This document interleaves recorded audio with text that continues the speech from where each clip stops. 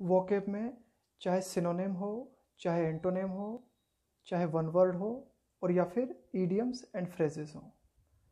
Vocab याद करने का सिर्फ़ और सिर्फ़ एकमात्र सूत्र है कि कितनी गहरी जान पहचान आप शब्द से करते हैं। जितनी गहरी जान पहचान होगी, उतनी ही देर तक याद रहेगा। गहरी जान पहचान होने से क्या तात्पर्य? जैसे कोई शब्द है, हमें इसका सिनोनेम मालूम है या नहीं। इसका एंटोनेम मालूम है या नहीं?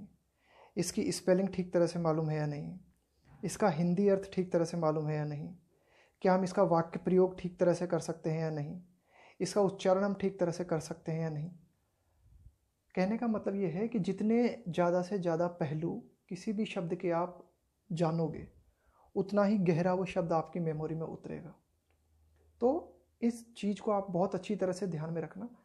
अरे यार कुछ भी देख लो, आप अपनी जनरल लाइफ में देख लो। कोई भी आपका फ्रेंड हो सकता है।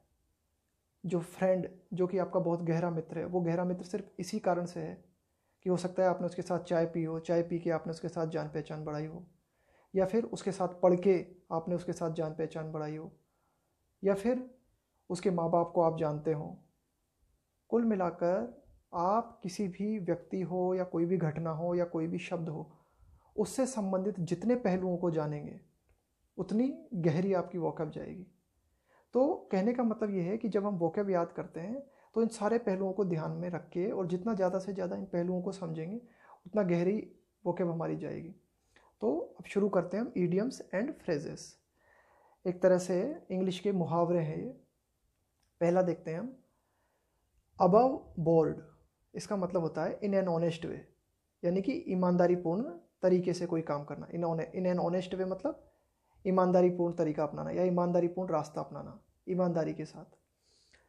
Above board behaviour is always appreciated in business dealings व्यापारिक समझौते जो होते हैं, उनमें अगर आप अपना रवैया अबव बोर्ड रखते हैं, यानी कि आप ईमानदारी के साथ कोई भी डीलिंग करते हैं तो उसकी हमेशा प्रशंसा की जाती है। ऐसा व्यवहार हमेशा प्रशंसनीय होता है। बिहेवियर इज़ ऑलवेज अप्रिसिएटेड और देखो इसे किस तरह से याद रख सकते हैं। देखो, जहाज़ होता है ना, जहाज़ जो समुद्र में चलता है हाँ। तो उसका जो डेक होता है, यानी कि जहाज़ का जो फ्लोर होता है एक तरीके से, उसे क्या बोलते हैं? उसे बोलते हैं bold B O A R D याद रखने की ट्रिक बता रहा हूँ उसे हम बोलते हैं बोल्ड तो क्या करते थे प्राचीन समय में? प्राचीन समय में क्या अभी भी करते हैं?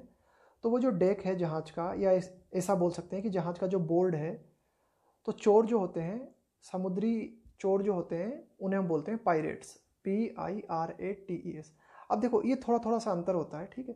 अब जितना गहरा जाओगे ना, आप उतना ज़्यादा पता चलेगा। अब देखो रॉबर्स उनको नहीं कहेंगे हम। समुद्र के जो चोर हैं, समुद्री जो लुटेरे उन्हें क्या बोलते हैं हम?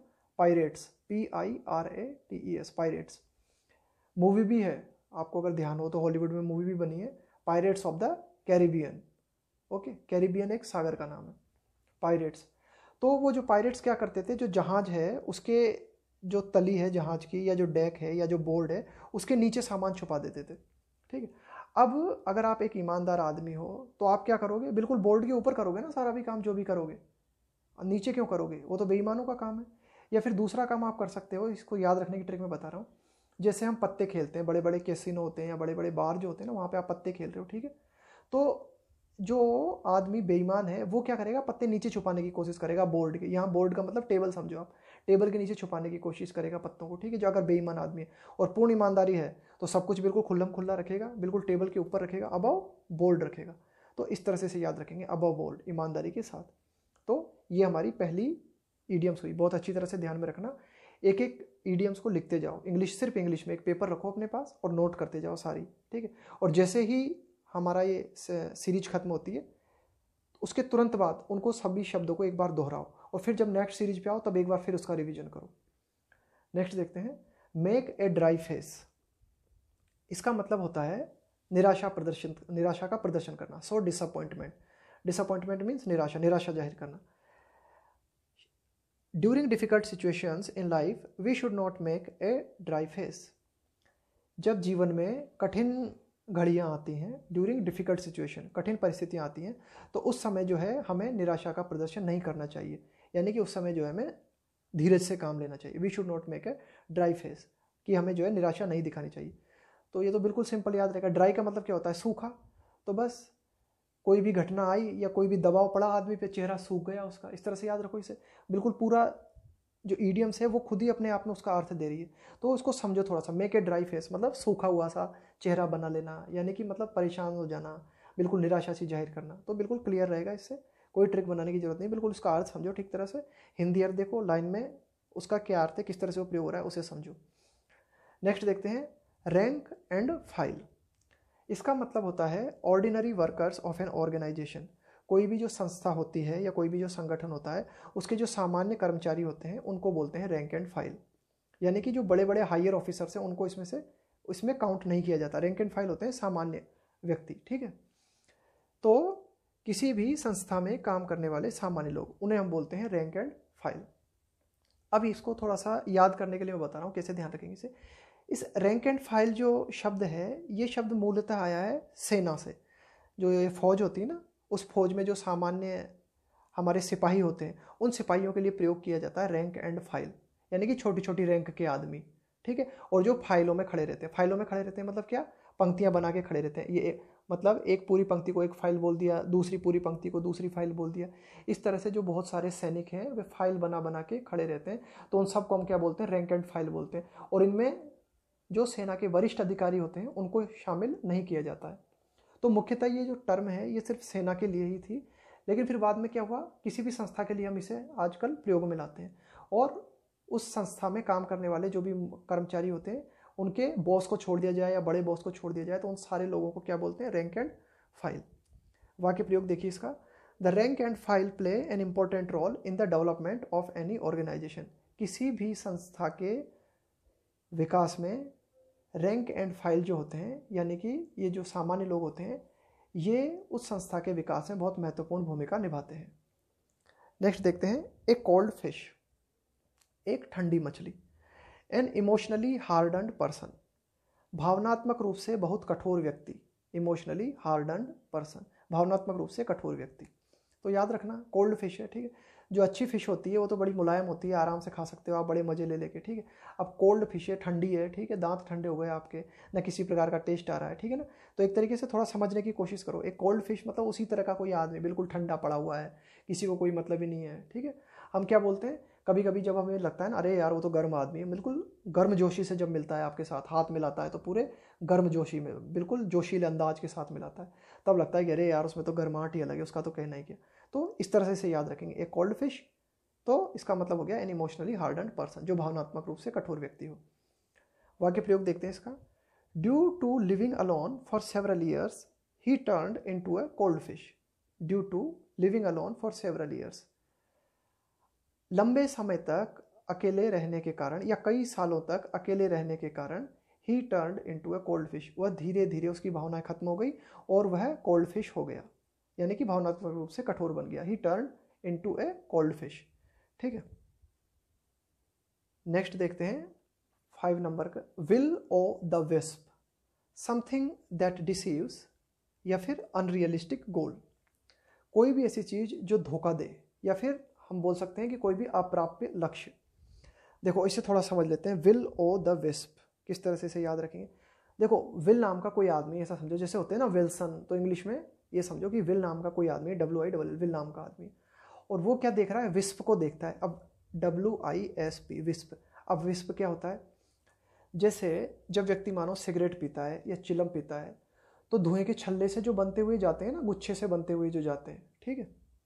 तो इन्हें हम क्या बोलते हैं? विश्व बोलते हैं, ठीक है? यानी कि इस तरह के और कोई भी चीज़ हो सकती है, ज़रूरी नहीं धुआँ ही हो कोई प्रकाश भी हो सकता है हल्का हल्का सा प्रकाश अगर जो है छल्लों के रूप में जा रहा हो, गुच्छों के रूप में जा रहा हो तो उसे क्या बोलते हैं? विश्व अब ये देखो, ये किस प्रकार से ये ईडियम बनी है ये क्या होता है कि जो दलदल वाले क्षेत्र होते हैं ना, दलदल वाले क्षेत्र, जहाँ पे कीचड़ भी मचा होता है और बहुत सारे पेड़ भी होते हैं तो वहाँ क्या है, जब धीरे धीरे पेड़ सड़ने लगते हैं ना उस दलदल के अंतर्गत तो उन पेड़ों के सड़ने के कारण कुछ रासायनिक क्रियाएँ होती हैं और उन रासायनिक क्रियाओं के स्वरूप जो है गुच्छे से उठते हैं मतलब थोड़ा थोड़ा सा धुआँ होता है और थोड़ा थोड़ा सा प्रकाश होता है। अब कोई व्यक्ति जो है ना, उनको उस प्रकाश को देख के भ्रमित हो सकता है कि पता नहीं यार ये क्या है और ये मानो कि विल नाम का कोई आदमी है और इस प्रकार का प्रकाश देखता है और वो वहाँ पे जाकर देखने की कोशिश करता है कि क्या है, ये क्या हो रहा है मतलब क्या, कैसे धुआँ उठ रहा है, ठीक है? तो और पता नहीं जाके दलदल में फंस जाता है। तो यानी कि एक तरीके से उस विस्प ने उसको धोखा दे दिया। ठीक है? लगा तो कुछ और, लगा कि यार कुछ प्रकाश हो सकता है, पता नहीं कुछ और हो सकता है, वो तो किसी तलाश में गया, लेकिन उसे क्या मिल गया? धोखा मिल गया मिसलीड हो गया वो। ठीक है? जाके उधर दलदल में फंस गया। तो इस प्रकार से इसे याद रखेंगे। विल ओ द विस्प ऐसे चीज़ जो धोखा दे या फिर अप्राप्य लक्ष्य। अप्राप्य लक्ष्य का क्या मतलब है? उसे लगा कि यार पता नहीं है तो लाइट सी लग रही है यार, कुछ लाइट होगी वहाँ पे, और जाके पता चले कि लाइट वाइट कुछ थी नहीं वहाँ पे। ठीक है? तो इस तरह से इसे याद रखेंगे। विल ओ द विस्प काफ़ी अच्छी लगी मुझे ये ईडियम पता नहीं क्यों, मुझे बहुत अच्छी तरीके से याद है ये। और पढ़ने में भी मज़ा आता है इसे। विल ओ द वेस्प ठीक है? तो इसका वाक्य प्रयोग देखते हैं। He saw something like a ghost but when he came closer he found it was nothing but a will o' the wisp he saw something like a ghost उसने दूर से किसी चीज़ को देखा जो कि भूत जैसी दिख रही थी। He saw something like a ghost but when he came closer लेकिन जब वो पास आया ही फाउंड तो उसने क्या पाया? It was nothing but a will o' the wisp ये कुछ नहीं था, क्या था? विल ओ द विश्व था। यानी कि उसे धोखा हो गया था, ठीक है? धोखा हो गया था, यानी कि वह मिसलीड हो गया था, भ्रमित हो गया था वो, ठीक है? क्योंकि दूर से देखने पे तो लग रही थी, पता नहीं यार भूत भूत हो सकता है, कुछ ऐसा हो सकता है। तो इस तरह की चीज़ जो आपको अपने पथ से विचलित कर दे, आपको धोखा दे दे, या फिर एक ऐसी चीज़ जो दिखाई कुछ और दे और हो कुछ, क्योंकि दिख तो वहाँ प्रकाश रहा है, लेकिन वहाँ प्रकाश है नहीं। तो इस तरह से ये एडियम बनी हुई है और इस तरह से इसका वाक्य प्रयोग है। तो इस तरह से आपको ध्यान में रखना है, क्योंकि जब एग्ज़ाम में ये आती है तो एग्ज़ाम में क्या है, आपको सिर्फ़ इंग्लिश में लिख के देगा। तो आपको हिंदी में भी इसका अर्थ पता है इंग्लिश में भी इसका अच्छी तरह से अर्थ पता है, तभी जाके आप ठीक ऑप्शंस को चुन पाएँगे। क्योंकि ऑप्शंस क्या हैं, बड़े क्लोज क्लोज आते हैं, ठीक है? तो थोड़ा सा ध्यान देना है जो ऑप्शंस पे। जैसे कि जो चार ऑप्शंस आते हैं ना आपको, अगर आपको बिल्कुल क्लियर है तो तब तो फटाफट लगा ही देना है कि हाँ ये हो गया आंसर लेकिन आपको थोड़ा सा भी डाउट लग रहा है तो सबसे पहले आप दो ऑप्शंस को हटा दें। इसके बाद में दो क्लोज क्लोज ऑप्शन बनते हैं। उन पर थोड़ा ध्यान दें, आराम आराम से सोचें उन पर और अपने आप धीरे से निकल के आएगी कोई चीज़, ठीक? अभी जैसे कि मैंने बताया बिलो द विस्प के इसके दो अर्थ से हो रहे हैं, हल्के हल्के। हालाँकि दोनों ही मिलते जुलते हैं कि कोई भी ऐसी चीज़ जो आपको धोखा दे या फिर कोई भी ऐसा गोल जो कि वास्तविक ना हो, अवास्तविक गोल हो। नेक्स्ट देखते हैं six number a bee in one's bonnet bee का मतलब होता है मक्खी, ठीक है? मधुमक्खी या मक्खी। A bee in one's bonnet और बोनेट का मतलब होता है ढक्कन। जैसे बस होती है ना बस में जहाँ ड्राइवर बैठता है, उसके पास में जो होता है ना, बोनेट, उसे बोलते हैं बोनेट, ठीक है? बोनेट मतलब कोई ढक्कन। A bee in one's bonnet का क्या मतलब है? टू कीप टॉकिंग और thinking about something, again and again. To keep talking और थिंकिंग। किसी भी चीज़ के बारे में बार बार जो है, या तो बात करना, या बार बार उसी चीज़ के बारे में सोचना। किसी भी चीज़ के बारे में लगातार सोचना या बातें करना, ठीक है? तो ऐसी जब कंडीशन होती है तो क्या बोलते हैं कि a bee a bee in one's bonnet वाक्य प्रयोग देखो। He seems to have a bee in his bonnet because he gives too much attention to a small work ऐसा लगता है कि he seems to have a bee in his bonnet कि उसके तो जो है दिमाग में कुछ फ्रैक्चर है। यानी कि फ्रैक्चर से मतलब क्या है? उसके दिमाग में बी है bee in his bonnet because he gives too much attention to small work अरे यार वो छोटे छोटे कामों में भी जो है बहुत सोच विचार करता है, ठीक है? यानी कि एक एक चीज़ के बारे में कुछ ज़्यादा ही सोचना, ठीक है? हर हमेशा ये कोशिश करना कि मैं जो है परफेक्ट रहूँगा हर चीज़ में, हर चीज़ को जो है परफेक्ट बनाने की कोशिश करना, ठीक है? तो उसको क्या बोलेंगे?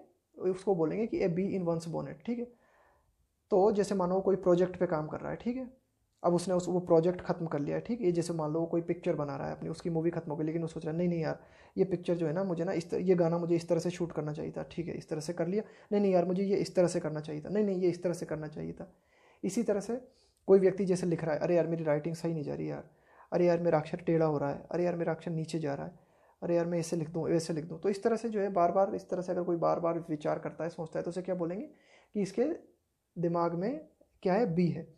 इसे इस तरह से याद रखेंगे हम। इस तरह से, इस तरह से याद रखो, जैसे कोई, किसी, कोई व्यक्ति है, उसका दिमाग है, उसके दिमाग में क्या हुआ, कोई मक्खी घुस गई, ठीक है? अब जो है, मक्खी का ऑपरेशन करके मक्खी तो निकाल दी गई, लेकिन पता नहीं उसे बार बार ऐसा लगता है जैसे मेरे दिमाग में मक्खी घुसी हुई है और वो, क्या कहते हैं, गो गो गो गो गो गो गो गो कर रही है, ठीक है? तो बस उसको यही दिमाग में रहता है हमेशा कभी कभी हो जाता है ऐसा। तो इस तरह से याद रखो इसे, जैसे कोई व्यक्ति है, उसके दिमाग में क्या था, कभी मक्खी घुस गई, ठीक है? अब मक्खी घुस गई तो मक्खी को तो डॉक्टर ने निकाल दिया ऑपरेशन करके। लेकिन पता नहीं, उसे बार बार अभी भी ऐसा लगता है कि यार, मेरे दिमाग में या मेरे जो बोनट है, मेरा ढक्कन है, मेरा जो दिमाग है, इसमें अभी भी वो घूम रही है गो गो गो गो गो कर रही है। तो इस तरह से इसे याद रखेंगे। A bee in one's bonnet मतलब लगातार किसी चीज़ से ऑब्सेस्ड हो जाना। उसी के बारे में बातें करना या उसी के बारे में सोचना। नेक्स्ट देखते हैं white elephant something that is expensive and not very useful कोई भी चीज़ जो कि महँगी तो बहुत ज़्यादा होती है और काम की बहुत कम होती है। ठीक है तो उसे क्या बोलते हैं हम? उसे बोलते हैं वाइट एलिफेंट महँगी और अनावश्यक वस्तु। अब ये देखो वाइट एलिफेंट से याद हो रहा है। अब वाइट एलिफेंट का कोई करेगा क्या मतलब? ठीक है, वैसे तो नॉर्मल जो एलिफेंट होते हैं ग्रे कलर के जो भी होते हैं, वो जैसे भी होते हैं, उन्हीं का कोई काम नहीं है तो वाइट एलिफेंट का क्या करेंगे हम? ठीक है, फालतू में वो महँगा भी पड़ेगा क्योंकि जो चीज़ मिल नहीं रही है जिस चीज़ की कमी होती है, वो वैसे ही महँगा हो जाता है और कुछ काम भी नहीं आना है वाइट एलिफेंट ले भी, लेके भी आ गए आप तो। ठीक है? आदमी जो है नॉर्मल एलिफेंट देखने आता है। अगर आता भी है तो। वैसे तो किसी के पास टाइम ही नहीं है तो कोई क्यों एलिफेंट को देखेगा? लेकिन अगर कोई आता भी है तो नॉर्मल एलिफेंट को देखने आएगा। अब आपने क्या किया? पहली बात तो एलिफेंट खरीदा जिसकी कोई ज़रूरत नहीं थी। और दूसरा वाइट एलिमेंट खरीदने लाए।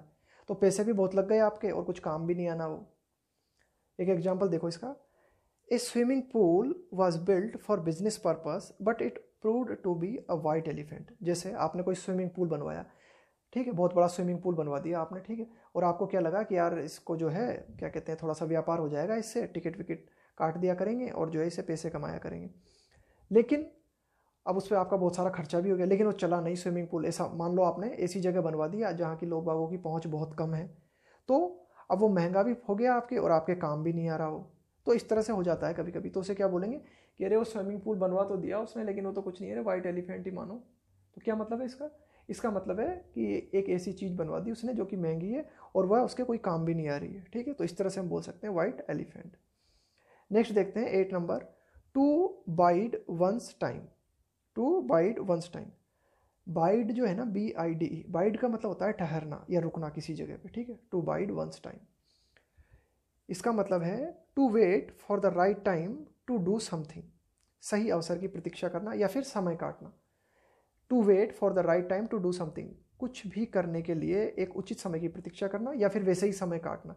टू बाइड वंस टाइम अब बाइड का मतलब क्या है? ठहरना। वंस टाइम ठीक है? कोई भी व्यक्ति है जो कि कुछ भी नहीं कर रहा है और सिर्फ़ अपने टाइम को काट रहा है, ठीक है?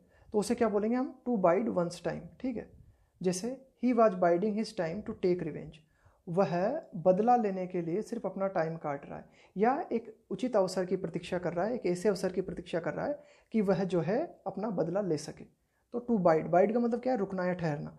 तो अपने टाइम को ठहरा लेना किसी जगह पे रुक जाना ठीक है? या ऐसे ही फालतू में अपने टाइम को काटना। तो इस तरह से, से याद रखेंगे। टू बाइड वंस टाइम ये वंस की स्पेलिंग ठीक कर लेना। ओ एन ई फिर अपोस्टॉफ और फिर S to bide one's time to wait for the right time to do something सही अवसर की प्रतीक्षा करना या फिर समय काटना। नेक्स्ट देखते हैं nine. Point blank. Point blank का मतलब होता है फ्रैंकली या फिर कैंडिडली, स्पष्ट तौर पर। देखो अब इसे कैसे याद रखेंगे? हाँ पहले वाक्य प्रयोग देख लेते हैं इसका। When I asked for going out with my friends my father refuse point blank जब मैंने अपने दोस्तों के साथ बाहर जाने के लिए अपने पिताजी से कहा तो मेरे पिताजी ने सीधे सीधे मना कर दिया। पॉइंट ब्लैंक का मतलब होता है, एक तो देखो क्या होता है, किसी भी चीज़ को मना किया जाता है तो एक तो क्या है, पूरे कर्टसी के साथ करते हैं अपन, ठीक है, शिष्टाचार दिखा के मना करते हैं, और एक होते हैं बिल्कुल सीधे तौर पे मना कर देते हैं, जैसे आपने किसी से रुपए उधार मांगे, आपका कोई मित्र है जिससे आप पैसे उधार मांगते हो तो एक तो वो बोल सकता है कि अरे यार, पैसे तो मैं दे तो देता, लेकिन मेरी भी यार बीवी बीमार पड़ी है, और वो बच्चों की ट्यूशन फ़ी दे दी तो एक तो इस तरह से मना करे आपको धीरे धीरे और एक आप पैसे मांगने गए और सीधा क्या बोले अरे नहीं है पैसे वैसे, चल एक तरफ़ बन निकल यहाँ से। या फिर सीधा बोल दे, पैसे तो नहीं दूँगा भाई मैं तुझे। पैसे तो नहीं दूँगा। तो ये क्या हुआ? ये हो गया पॉइंट ब्लैंक बिल्कुल सीधे मना कर देना, बिल्कुल मुँह पे मना कर देना। पॉइंट ब्लैंक कैसे याद रखेंगे? इसे याद रखेंगे मतलब कोई व्यक्ति जो है ना, सीधे पॉइंट पे आता है मतलब ठीक है, घुमा फिरा के बात ही नहीं करता, सीधे पॉइंट पे आता है और बिल्कुल आप जो है ना, बिल्कुल खाली के खाली रह जाते हो। मतलब आप तो कुछ मांगने गए थे, कुछ रिक्वेस्ट करने गए थे और आप बिल्कुल खाली रह जाते हो ब्लैंक रह जाते हो आप। इस तरह से याद रखोगे इसे, ठीक है? बिल्कुल ब्लैंक हो जाते हो, आप देखते अरे यार, ये क्या हुआ यार? और वो बिल्कुल सीधे जवाब देता है, आपको बिल्कुल पॉइंट पे जो बात करनी थी, सिर्फ़ वही करता है, सीधी से। नेक्स्ट देखते हैं, ऑन क्लाउड नाइन। अब देखो, ये भी बिल्कुल सिंपल है, ऑन क्लाउड नाइन, नौवे आसमान पे होना, ठीक है? क्या बात है यार, आजकल तो तुम्हारे पैर नौवे आसमान पे चल रहे हैं, यानी कि बहुत ज़्यादा मज़े में होना या अत्यधिक प्रसन्न होना, extremely happy. The thought that he would get job made him on now, on cloud nine. सिर्फ़ ये विचार कि उसे जॉब मिल जाएगी, ये सोच कर ही वह जो है सीधे नवे आसमान पर पहुँच गया, ठीक है? The thought that he would get job made him on cloud nine कि उसे जॉब मिल जाएगी, इस विचार नहीं उसे नवे आसमान पर पहुँच जाती है। या इस विचार के मात्र इस विचार मात्र को अपने दिमाग में लाने से वह सीधा नवे आसमान पर पहुँच गया। नेक्स्ट देखते हैं eleven number cry over spilt milk अब देखो, इसका मतलब क्या है? स्पिल्ट का मतलब हो जाए, होता है फैल जाना। Cry over spilt milk. अब जो दूध फैल गया, उसके ऊपर आप जो है रो रहे हो तो इसका क्या मतलब है? इसका मतलब है कि वो जो दूध फैल गया, वो तो गया काम से, अब वो तो किसी तरह का रहा नहीं काम से। तो इसको कहेंगे अपन व्यर्थ पछताना, यानी कि अब पछतावा होत का जब चिड़िया चुप गई खेत, अब तो जो होना था हो गया तो अब पछता के क्या फ़ायदा? ठीक है तो अब रोने का कोई मतलब ही नहीं to express regret about something किसी भी ऐसी चीज़ के बारे में दुख प्रकट करना दैट हैज़ हैपन्ड जो कि हो चुकी है and can not be change और अब जिसे बदला नहीं जा सकता। एग्ज़ाम्पल देखो, इसका क्लियर है ना, बिल्कुल उसी से। He was upset with his result जब उसके परिणाम आए तो वह उन परिणामों से जो है बेहद दुखी हुआ, या उन परिणामों से व्यथित था। But his friend told him लेकिन उसके दोस्त ने उसे बताया टू प्रिपेयर अगेन कि वो दोबारा तैयारी करे and not to cry over spilt milk और इस तरह से जो है, जो हो गया, उसके लिए न पछता है ठीक है? तो इस तरह से इसे याद रखेंगे। नेक्स्ट देखते हैं twelve. Thick and fast. Thick and fast का मतलब होता है rapidly and in large number rapidly मतलब शीघ्रता के साथ। Rapidly and in large number जब भी कोई चीज़ जो है तीव्र गति से और बड़े पैमाने पे होती है तो उसे बोलते हैं थिक एंड फास्ट बड़े पैमाने पर और तेज गति से। एग्ज़ाम्पल देखिए इसका। Nowadays technology is growing thick and fast आजकल जो है तकनीकी का विकास जो है बहुत ही तीव्र गति से और बड़े ही विशाल पैमाने पे हो रहा है। अब कैसे याद रखेंगे इसे? थिक थिक का मतलब होता है विशाल या फिर मोटा। T H I N thin मतलब पतला और थिक मतलब मोटा या फिर विशाल और फास्ट मतलब तेज़ी के साथ। तो इस तरह से याद रखेंगे ना, थिक एंड फास्ट। अपने आप में क्लियर कर रहा है, थिक मतलब विशाल हो गया, फास्ट मतलब तेज़ी से हो गया। तो एक तरीके से थिक एंड फास्ट का अगर हम अर्थ समझ लें तो वही अर्थ क्या है? हमारी इस थिक एंड फास्ट ईडियम का है। नेक्स्ट देखते हैं। हरक्यूलियन टास्क अब देखो हरक्यूलियन टास्क जो है, एक ऐसा टास्क होना जो बहुत ही ज़्यादा कठिन हो, बहुत ही ज़्यादा कठिन हो या एकदम इम्पॉसिबल टास्क हो, उसको बोलते हैं Herculean task extremely difficult task दुरूह कार्य, कठिनतम कार्य. देखो, जो ग्रीक पौराणिक कथाएँ हैं ना हमारी, जैसे जो ग्रीक है ग्रीक एक देश का नाम है, ठीक है? ग्रीक भाषा से कई शब्द हमने अंग्रेज़ी में लिए हैं और कई ईडियम्स जो हैं हमने ग्रीक भाषा से लिए। तो ग्रीक पौराणिक कथाएँ जो हैं, उनमें एक हरक्यूलियन नाम का आदमी हुआ है, ठीक है? तो उसको जो है, कई सारे टेस्ट देने पड़े थे, ठीक है? तो उसको टेस्ट में क्या करना पड़ता था? मतलब कई सारी परीक्षाएँ उसकी हुई तो ऐसी परीक्षाओं में क्या था? उसे बड़े कठिन से कठिन कार्य दिए जाते थे किसे?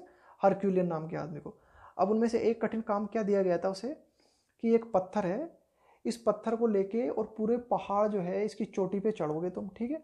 और जैसे ही वो व्यक्ति हरक्यूलियन जो है, पहाड़ की चोटी पे लेके जाता था पत्थर को। पहले तो पत्थर ही बहुत बड़ा था, बहुत विशाल था, बहुत भारी था, जो कि सामान्य आदमी से तो हिले भी नहीं। तो उसको किसी तरह से धक्का दे दे के चोटी तक ले जाता था वो। अब वो जैसे ही चोटी तक लाता था, पत्थर को पत्थर लुढ़क के फिर नीचे आ जाता था और फिर वो उसे ले जाता था। तो इस तरह से जो है मतलब बहुत कठिन कार्य हो गया ना एकदम, कि उसको कैसे पहुँचाए चोटी तक, क्योंकि चोटी तक लेके जाता है और फिर वो चोटी से लुढ़क के नीचे आ जाता है। तो इस तरह का काम हरक्यूलियन को दे दिया गया था। और भी कई काफ़ी सारे काम उसे दिए गए थे। टास्क मतलब होता है किसी को कोई काम देना, ठीक? तो हरक्यूलियन टास्क जो है, फिर तभी से जुड़ गया हमारी ईडियम्स में और इसका मतलब हो गया कि एक कठिन काम या impossible work eradicating caste system from India is still proving a Herculean task eradicating मतलब जड़ मूल से समाप्त करना किसी भी चीज़ को। कास्ट सिस्टम मतलब जाति प्रथा। तो भारत में जाति प्रथा को जड़ मूल से समाप्त करना आज भी एक हरक्यूलियन टास्क है। आज भी एक बहुत कठिन कार्य साबित हो रहा है। आज तक जो है हम पूरी तरह से कास्ट सिस्टम को नहीं मिटा पाए हैं। नेक्स्ट देखते हैं। Once and for all once का मतलब क्या होता है? जैसे हम पढ़ते हैं ना कहानी once upon a time, there was a king, एक बार की बात है कि एक राजा था। तो वंस का मतलब क्या होता है? एक बार, ठीक है? तो वंस एंड फॉर ऑल एक बार करो और हमेशा के लिए करो फॉर ऑल सबके लिए कर दो। यानी कि पूरी तरह से करो, जो भी कर रहे हो आप। जैसे कि आप अगर ये ईडियम्स की तैयारी कर रहे हो तो जितनी भी ईडियम्स हैं, लगभग लगभग जितनी भी इंपॉर्टेंट से ईडियम है, सारी की सारी कर डालो और ऐसी कर डालो कि कभी उसे दोबारा भूलो ना। तो क्या कहेंगे हम? कि भाई, मैंने तो पूरी ईडियम याद कर ली और और कैसे कर लिए? वंस एंड फॉर ऑल हमेशा हमेशा के लिए याद कर लिए।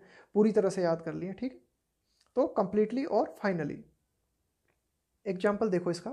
Kashmir issue must be resolve once and for all resolve R E S O L V resolve का मतलब होता है हल करना। ये जो हमारी कश्मीर समस्या है, इसे हमेशा हमेशा के लिए जो है हल किया जाना चाहिए। Must be solve once and for all ठीक है? तो इस तरह से याद रखेंगे इसे। नेक्स्ट देखते हैं। Turn a blind eye, fifteen number का टर्न ए ब्लाइंड आई। इसका मतलब होता है डेलीबरेटली इग्नोर समथिंग डेलीबरेटली मतलब जानबूझकर। इग्नोर मतलब उपेक्षा करना। किसी चीज़ को देखकर भी अनदेखा करना। जानबूझकर उपेक्षा करना, ठीक है? तो उसको बोलते हैं turn a blind eye. Turn का मतलब क्या होता है? मुड़ जाना, ठीक है? और ब्लाइंड का मतलब है आँख को बंद कर लेना, जानबूझ के आँख को अंधी कर लेना। आप देख रहे हो कि आपके सामने कोई व्यक्ति है, वो किसी लड़की को परेशान कर रहा है। तो आप जो है उस लड़की की मदद करने की बजाय, अब आपको पता है गलत भी हो रहा है, फिर भी जो है आप दूसरी तरफ़ झांकने लगते हो, ठीक है? तो इसे क्या कहेंगे? टर्न ए ब्लाइंड आई तुम सब कुछ देख रहे थे, तुम्हारे सामने गलत हो रहा था, लेकिन फिर भी तुमने क्या किया? You turn a blind eye तुमने जो है अपना मुँह फेर लिया या अपनी आँख फेर ली, या जानबूझ के अपनी आँख मींच ली। तो उसको बोलते हैं टर्न ए ब्लाइंड आई ठीक है? या कोई भी खतरा आने वाला है आप पे, ठीक है? आपको जो है सचेत होना चाहिए, लेकिन फिर भी जो है आप आँखें मूंदे पड़े हो तो उसको क्या बोलेंगे? टर्न ए ब्लाइंड आई जानबूझकर किसी चीज़ की उपेक्षा करना। एग्ज़ाम्पल देखते हैं इसका। It is a responsibility of citizen not to turn a blind eye when he see something illegal is happening यह प्रत्येक नागरिक का कर्तव्य है कि वह जो है जानबूझ के अपनी आँख ना फेरे when he see something illegal is happening जब वो देखता है कि कोई गैरकानूनी घटना हो रही है या कोई भी गैरकानूनी काम हो रहा है। नेक्स्ट देखते हैं sixteen talk of the town talk का मतलब बात। ठीक है? टाक ऑफ़ द टाउन मतलब कस्बे की बात होना। टाक ऑफ़ द टाउन देखो किसे बोलते हैं? कि जैसे मानो कोई व्यक्ति जो है अचानक से फ़ेमस हो जाता है। जैसे कि इस तरह से देखो, मानो कोई लड़की है, वो अपने प्रेमी के साथ भाग गई, ठीक है? तो उस लड़की के बारे में सब बात करने लग जाएँगे। जैसे वो किसी गाँव की है या किसी शहर की है, छोटे कस्बे की है टाउन की है तो सब उसके बारे में बात करेंगे। अरे वो कौन की लड़की थी? अरे वो कितनी साल की थी? अरे वो कितने दिन से चल रहा था चक्कर उनका? अच्छा अच्छा भाग गई तो सारे लोग बात करने लग जाएँगे। तो इसे क्या बोलेंगे? कि वो लड़की जो है टाक ऑफ़ द टाउन बन चुकी है। इसी प्रकार से मानो कोई छोटा लड़का है, वह जो है क्रिकेट के इंडियन क्रिकेट टीम में शामिल हो जाता है और उसने शतक लगा देता है या सेंचुरी लगा देता है, बहुत कम उम्र है उसकी तो तुरंत ही जो है कस्बे में, उसके कस्बे में बात फैल जाएगी। अरे, फलाने का लड़का जो है क्रिकेट टीम में शामिल हो गया, या फिर फलाने का लड़का जो है नौकरी लग गया। अच्छा नौकरी लग गया, कहाँ तैयारी कर रहा था, कब से तैयारी कर रहा था, कौन सी कोचिंग ज्वाइन की थी, क्या किया था तो क्या हो गया वो? टॉक ऑफ़ द टाउन इस तरह से याद रखेंगे इसे। इंग्लिश में देखो इसे to be what everyone is talking about कुछ ऐसा हो जाना जिसके बारे में सब लोग बात करें। तो ऐसा ही नहीं, व्यक्ति हो, कोई वस्तु हो सकती है, कोई घटना हो सकती है तो उसको हम बोलते हैं जिसके बारे में सब बात करें talk of the town after his selection in U P S C exam he became the talk of the town U P S C exam जो होती है, हमारी आई एस की जो एग्ज़ाम होती है, जब उसमें उसका सिलेक्शन हो गया तो उस सिलेक्शन हो जाने के बाद में वह व्यक्ति सारे कस्बे में जो है छा गया या सारा कस्बा उसके बारे में बात करने लगा। वह टॉक ऑफ़ द टाउन हो गया। नेक्स्ट देखते हैं. Seventeen pull the wool over eyes pull the wool over eyes इसका मतलब होता है टू डिसीव समवन या फिर किसी को धोखा देना. देखो, एक तो जो ईडियम होती है ना, उसका पूरा अर्थ समझा करो आप हर शब्द का तो आपको याद रखने में ना बहुत आसान हो जाएगी. जैसे pull the wool over eyes pull का मतलब क्या होता है? खींचना, ठीक है? Wool W double L wool का मतलब होता है ऊन, ठीक है? अब देखो, इस to pull the wool over eyes का, इसका मतलब क्या है? टू डिसीव समवन किसी को धोखा देना. अब देखो कोई आपको धोखा देना चाहता है तो उसने क्या किया? ऊन लेके आया वो बहुत सारी, और आपकी आँखों पे जो है बढ़िया पुल कर दी मतलब खींच खींच के आपकी आँखों पे जो है ऊन बांधी। अब आपको कुछ दिखाई नहीं दे रहा, अब आसानी से आपको धोखा दिया जा सकता है। तो उसने क्यों बांधी ऊन आपकी आँखों पर ताकि आपको आसानी से धोखा दे सके। अब बताओ, अगर इस तरह से आप याद रखोगे तो इसे भूलने की कहाँ संभावना बन रही है? इसके हमने अर्थ समझ लिया अच्छी तरह से, हिंदी में इसका अर्थ समझ लिया, इसके एक एक शब्द का अर्थ समझ लिया, और हमने एक जो है इमेजनरी जो है एक अपने मन में एक स्टोरी बना ली छोटी सी उसको जोड़ लिया तो आप कैसे भूलेंगे इसे? तो इस तरह से याद रखना है हमें। To pull the wool over eyes तो ये हो गया इसका मतलब धोखा देना।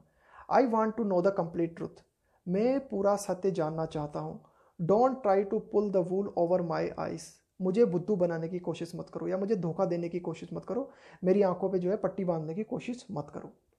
Don't try to pull the wool over my eyes next देखते हैं eighteen nip in the bud इसका मतलब होता है to destroy something at an early stage सिर उठाते ही कुचल देना to destroy something at an early stage destroy का मतलब है विनाश कर देना, मिटा डालना किसी को। अर्ली स्टेज मतलब बिल्कुल प्रारंभिक अवस्था में। अब देखो, इसे याद करने के लिए थोड़ा ध्यान दो। ये जो निप है ना N I P nip. Nip का मतलब होता है चुभोना। जैसे सुई चुभोते हैं ना, उसको बोलते हैं निप। और bud B U D bud. Bud का मतलब होता है कली। ठीक है? तो अब यहाँ पे क्या कहना चाहते हैं कि जब, मानो फूल है, वो कली के बाद ही तो फूल बनता है। अब कली में ही क्या किया आपने? जाके उसमें सुई चुबो डाली, ठीक है? जगह जगह से उसको कुरेद दिया। तो वो फूल बन पाएगा क्या? नहीं बन पाएगा ना फूल? यानी कि हमने क्या किया? कोई भी चीज़, किसी भी चीज़ को हमने प्रारंभिक अवस्था में ही नष्ट कर दिया। जैसे मानो कि कोई बुरी बुरी आदत हमारे अंदर विकास ले रही है। जैसे छोटे बच्चे उनको क्या? नाखून खाने की आदत पड़ जाती है। अब अगर हमने उस आदत को उसी टाइम नहीं सुधारा उसी टाइम पे अगर हमने उसे नहीं सुधारा तो जो है वो आगे चल के बहुत खतरनाक साबित होगी। ठीक है? तो उसी चीज़ को उसी समय पे सुधार देना, ठीक है? या फिर किसी ने हमारे खिलाफ विद्रोह करने की कोशिश की तो वहीं की वहीं जो है उस विद्रोह को दबा दबा डालना, ठीक है? जैसे क्या होता है कि ये जो बड़े बड़े होते हैं ना बड़े बड़े डॉन लोग होते हैं तो उनके खिलाफ अगर उनको लगता है कि कोई विद्रोह कर रहा है तो उसकी सारी फैमिली को ही मार डालते हैं वो। तो इसे क्या बोलेंगे? इसे बोलेंगे निप इन द बर्ड बिल्कुल प्रारंभिक अवस्था में ही कुचल डालना। जैसे कि फूल खिलने वाला था कली से फूल बनने वाला था, वो बर्ड जो थी, वो आगे चल के फूल बनती, लेकिन हमने उसे वहीं पे ख़त्म कर दिया। तो ये हो गया निप इन द बर्ड तो समझ गए ना, निप इन द बर्ड पूरा बिल्कुल क्लियर है, निप इन द बर्ड से। निप का मतलब चुभोना और बर्ड मतलब कली। यानी कि कली कोई भी चीज़ जो कि अपनी कली की अवस्था में हो, यानी कि अपनी शैशव अवस्था में हो, अपनी प्रारंभिक प्रारंभिक अवस्था में हो, उसे उसी समय नष्ट कर देना। एग्ज़ाम्पल देखो इसका। Bad habits must be nipped in the bird बुरी आदतें जो हैं, उनको अवश्य अवश्य रूप से जो है प्रारंभिक अवस्था में ही नष्ट कर देना चाहिए। ज़रूर से ज़रूर कर देना चाहिए। नेक्स्ट देखते हैं। हालसियन डेज़ हालसियन डेज़ का मतलब होता है a very happy period in the past गुजरे हुए आनंदमय दिन। यानी कि भूतकाल में। पास्ट मतलब आपका जो समय बीत गया, उस पास्ट में अगर आपने कोई बहुत ही अच्छा समय बिताया तो उस अच्छे वाले समय को क्या बोलेंगे हम? उसे बोलेंगे हालसियन डेज़ जैसे काफ़ी सारे बड़े लोग बोलते हैं कि यार बचपन जो है वो तो हालसियन डेज़ थे। या फिर मेरा स्कूल का टाइम हालसियन डेज़ था। या फिर मेरे कॉलेज का टाइम जो है हालसियन डेज़ था। तो इस तरह से। अब देखो ये कैसे बनी है ईडियम इसकी थोड़ी हम स्टोरी समझते हैं हालसियन डेज़ देखो, एक लड़की और लड़का, ठीक है? ये भी कोई ग्रीक स्टोरी है। ये क्या है? दोनों प्यार करते थे, ठीक है? तो अब लड़का जो था, वो क्या हुआ? समुद्र में जहाज़ लेके कहीं जा रहा था तो समुद्र में उसका जहाज़ जो है डूब गया और वो मर गया। पीछे से वो लड़की भी जो है, समुद्र में कूद गई और मर गई। तो उनका ऐसा प्रेम देख के समुद्र के देवता ने उन दोनों को पक्षी बना दिया, ठीक है? Halcyon H A L C Y O N halcyon जो है एक पक्षी का नाम है, ठीक है? जो कि समुद्र के किनारे पाया जाता है और वहीं अपना घोंसला बनाता है।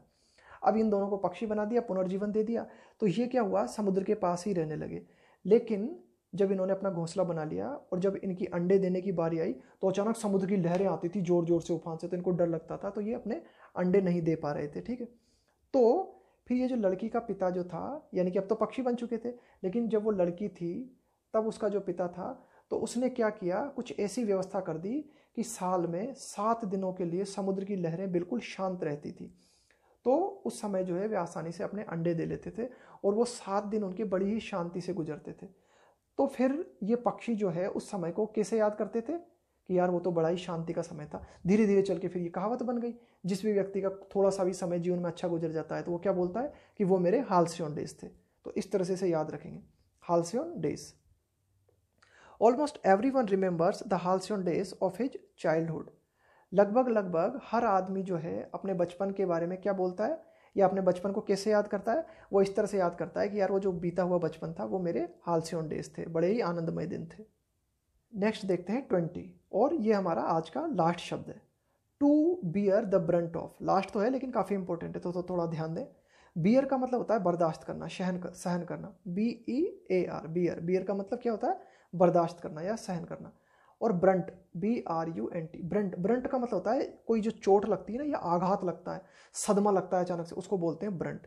To bear the brunt of अब देखो बस हो गया, अब कुछ याद करने की ज़रूरत ही नहीं बची। बस इसका अर्थ समझ में आ गया तो हो गया बिल्कुल to bear the brunt of किसी भी जो है चोट को बर्दाश्त करने की क्षमता होना या उसे बर्दाश्त कर लेना, सहन कर लेना। बियर मतलब सहन कर लेना, बर्दाश्त कर लेना। ब्रंट मतलब गहरी चोट या फिर आघात। बस अब क्या बचा याद करने के लिए? फिर भी देख लेते हैं। To face the worst part part of something to face the worst part of something सबसे खराब परिणाम का सामना करना। यानी कि बुरी सी बुरी जो है, आप पे दौर आ जाए तो उस बुरे से बुरे दौर का भी सामना करना। उसे बोलते हैं बियर द ब्रंट ऑफ़ ठीक है? वर्स्ट बैड वर्स और worst B A D bad उसकी सेकेंड फॉर्म होती है worse W O R S E और थर्ड फॉर्म होती है worst W O R S T तो बुरे से बुरा समय जो आ जाए, उसको भी जो है फेस करना, ठीक है? तो उसे को बोलते हैं to bear the brunt of example देखते हैं.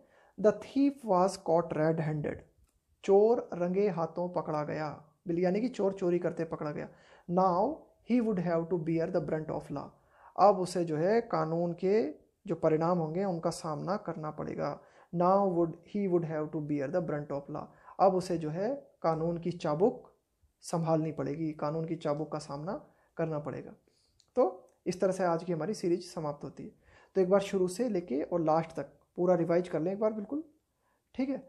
और देखें, वैसे कोई ज़्यादा कठिन नहीं है। सबसे आसान तो यही है ईडीएम अगर आप करोगे तो ठीक है? क्योंकि इसमें उसका अर्थ समझ लिया, ठीक तरह से तो हो गया काम। और यहाँ तो मैंने आपको जो है बहुत अच्छी तरह से एक्सप्लेन किया, उसका हिंदी अर्थ भी बता दिया है आपको इंग्लिश टू इंग्लिश भी बता दिया है और एग्ज़ाम्पल भी बता दिया तो एक बार पुनः इसको एक बार रिवाइज कर लें और जब नेक्स्ट सीरीज़ पर आए, तब एक बार फिर इसे रिवाइज करें। धीरे धीरे धीरे, मैंने आपको बार बार बता रखा है वोकेब को डेली एक घंटा टाइम दें डेली एक घंटा टाइम जो है वोकेब को ही दें, क्योंकि वोकेब सबसे मोस्ट इंपॉर्टेंट पार्ट है किसी भी लैंग्वेज का। ये बात अगर आपके समझ में आ गई ना तो बहुत जल्दी आपकी इंग्लिश बिल्कुल फरफरा, फरफराती हुई हो जाएगी। बिल्कुल वो बोलते हैं ना, वो फर्राटेदार हाँ वो बिल्कुल वैसी हो जाएगी। बस जो है शांति के साथ, जैसे हम ध्यान करते हैं, पूजा पाठ ना करते हैं ना, बिल्कुल उसी तरह से इसको अपनी पूजा समझें और रोज़ एक घंटे इस वोकेब को देते रहें। तो फिर मिलेंगे, ठीक है?